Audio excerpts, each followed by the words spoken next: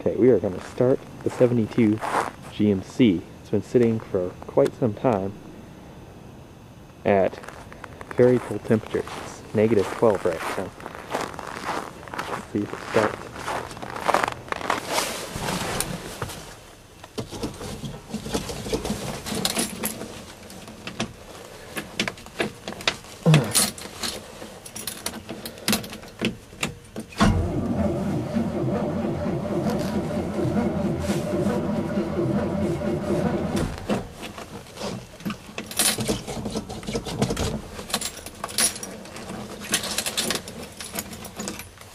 Ah, crap.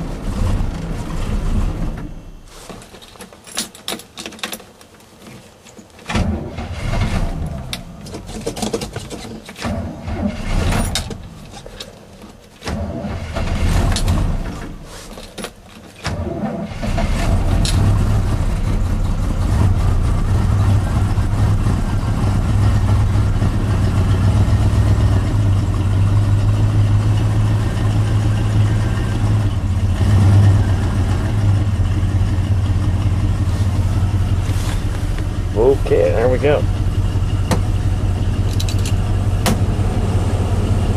Everything.